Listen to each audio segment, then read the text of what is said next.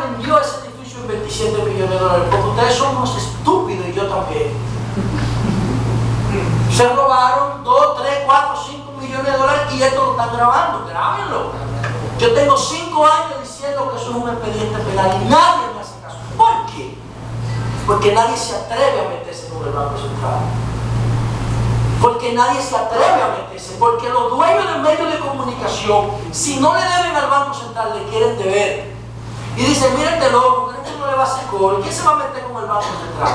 Paga publicidad, da préstamos, da facilidades, elimina deuda. Entonces yo estoy diciendo que el Banco Central vendió el edificio de Baniter de 27 millones a unos venezolanos cuando costaba 50 millones de dólares. Y hoy cuesta 100 desde que se hizo la Plaza Nuevo Centro. Y cada vez que yo digo eso, el que compró esa vaina me manda a llamar. Y me manda gente que no hable de eso, que mira que eso no fue así. Digo, sí, fue así. Eso no costaba 27 millones de dólares. Pero eso es de nosotros, porque nosotros fue que pagamos el hoyo de Baniter 110 mil millones de pesos el déficit clasificado. Aster, ¿saben cuánto lo acaban de vender? En 25 millones de dólares. El estudio de mercado dice que vale 44 y yo digo que vale 100.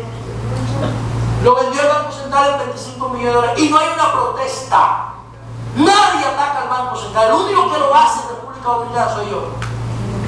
Y eso que yo soy periodista. El caso del INVI. Bochista. El INVI, el INVI hizo tres torres de apartamentos en la Luperón. ¿Ustedes saben por qué el INVI no ha distribuido su apartamento que se lo quieren coger los senadores? Porque yo lo dije. Y están paralizados y no lo quieren dar. Después de las elecciones apuesto que lo van a dar. Pero eso es un expediente de corrupción porque el Estado que hacerle casa a los ricos. Y todos los senadores son ricos. Tiene que agarrar esos apartamentos, venderlos en el sector privado y hacer casa para la gente que verdad lo necesite. Entonces, no es verdad que porque yo sea político del PLD, yo dejo de ser eh, objetivo. Eso es mentira. Le pongo el caso de Euclides. Euclides paga la luz. Euclides publicó una lista de los periodistas que lo apoyaron. Aquí yo no estoy ahí. Porque yo en mi exigía a Euclides que pague la luz. Y Euclides no puede robarse la luz porque sea miembro del político. Y Euclides no me habla. Entonces no es verdad que porque yo sea político yo debo de ser objetivo. Ni porque sea del PRD, ni porque sea del PLD. Metaldón. Eso del grupo Vicini. Contamina Santo Domingo. Entonces Metaldón le da cuarto al PRD y le da cuarto al PLD y después se quieren coger el país.